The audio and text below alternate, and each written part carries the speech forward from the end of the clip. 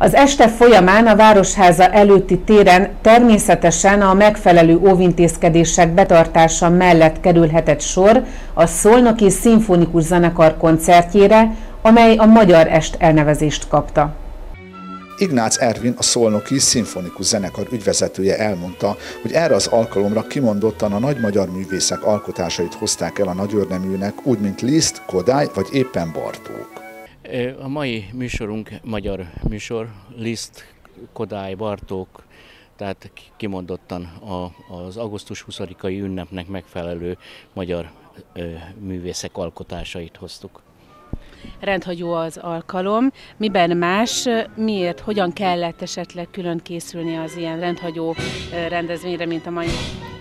Hát ez az egész, ez a Covid helyzet, ez az egész életünket felborította, és többször szerveztük újra, de hála Istennek Karcagon nem volt probléma, mert megtarthatjuk, megtarthattuk, vagy illetve megtartjuk ezt a koncertet.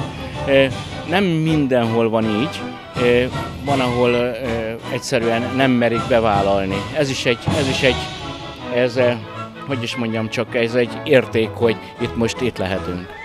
Említette, hogy a mai este repertoárjában magyar est tulajdonképpen magyar előadók, zeneszerzőknek fogják előadni a műveit. Hogyan kerül válogatásra, amikor összeállítanak egy ilyen rendezvényre, hogy mit ad majd elő a zenekar a programján?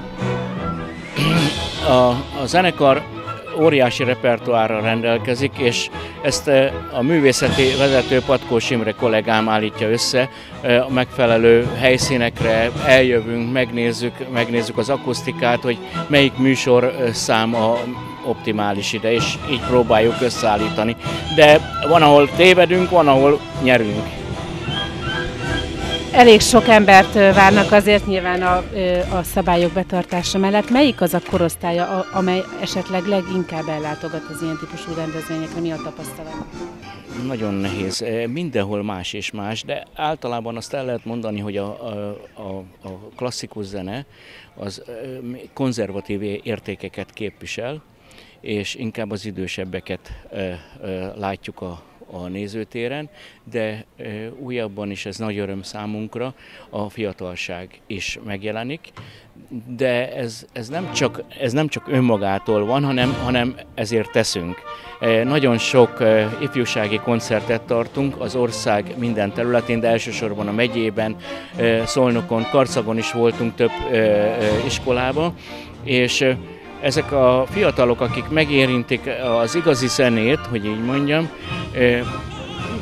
ők, ők előbb-utóbb koncertlátogatók lesznek, mert az, az érték, az igazi érték átadása itt, itt történik. Legalábbis a mi értékrendünk szerint.